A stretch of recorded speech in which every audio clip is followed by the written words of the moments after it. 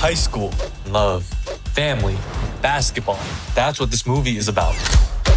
And action! is a huge basketball fan.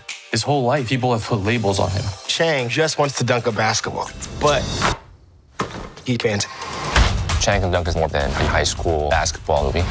It's a coming of age journey about an ordinary kid who just wants to fit in.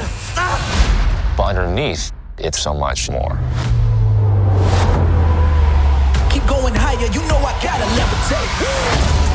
This movie is just gonna melt everybody's heart.